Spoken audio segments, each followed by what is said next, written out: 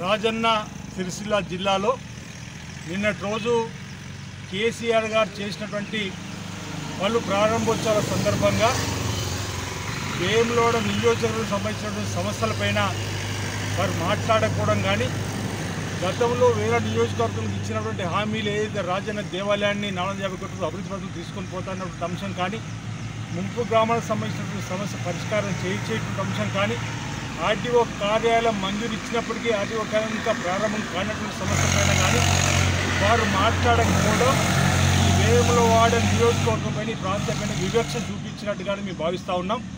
ఈ నియోజకవర్గంలో కట్లాపురం మేడిపల్లి మండలం కలిగొడ సురం ప్రాజెక్ట్ అంశం కూడా వారు మాట్లాడకపోవడం ఒక వివక్షగా మేము చూస్తూ మరి ఆకలి అయితే ఇంటికి వెళ్ళాక భోజనం పెట్టుకొని తల్లిని అడుగుతూనే తప్ప భోజనం పెట్టలేని పరిస్థితిలో ఉన్నటువంటి సందర్భంలో ఇక్కడ ఉన్నటువంటి కథానాయకుడు లేకపోవడం వల్లనే ఈ నియోజకవర్గం పైన ముఖ్యమంత్రి గారు కూడా శీతకన్ను పడ్డదనేటువంటి ఆలోచనలో మేము ఉన్నామన్నమాట ఈ సందర్భం చెప్తా ఉన్నాం.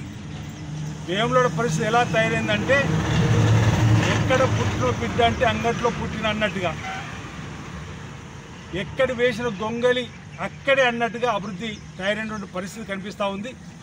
గత పదహారు మాసాలుగా కనిపించని శాసనసభ్యుడి పైన ఎందుకు చర్యలు తీసుకోవాలంటే కనీసం నిన్నటి రోజున సమానం చెప్తాను అనుకున్నాం.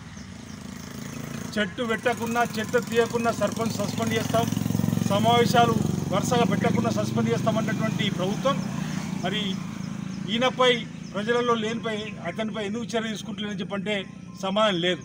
ఈరోజు చెప్పడానికి మేము ప్రయత్నం చేస్తే మమ్మల్ని అరెస్ట్ చేసి పోలీస్ స్టేషన్ నుంచి గృహ నిర్బంధం చేశారు కాంగ్రెస్ పార్టీ ద్వారా ఉన్నటువంటి స్థానిక ఎంపీటీ సభ్యుల్ని పిలిస్తే వారంతా సమస్య చెప్తారంటే కేవలం టీఆర్ఎస్ పార్టీ సంబంధించినటువంటి అధికార పార్టీ ఎంపీటీసీని పిలిచి కాంగ్రెస్ పార్టీకి సంబంధించినటువంటి ఎంపీటీసీలు కూడా పిలవకపోవడం అనేది ఇది వివక్షను చూపించడమే.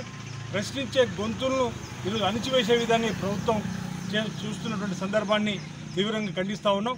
నిన్నటి పర్యటన కేసీఆర్ పర్యటన వల్ల కేవలం ప్రారంభోత్సవాలను ప్రా చేసుకొని గొప్పలు చెప్పుకోవడానికి ఉంది తప్ప వేములోడ నియోజకవర్గ సమస్యల ఊసేతని ఆ- మీటింగ్ను మేము ఆ కేసీఆర్ గారి తీరును ఈ సందర్భంగా తప్పడుతూ దీని ప్రధాన కారకుడైనటువంటి ఈ ప్రాంతంలో లేని ఆ కథానాయకుడి పైన చర్యలు తీసుకోవాలని చెప్పి ఈ సందర్భంగా మేము డిమాండ్ చేస్తూ ఉన్నాం Subscribe us and press the bell icon for more interesting updates.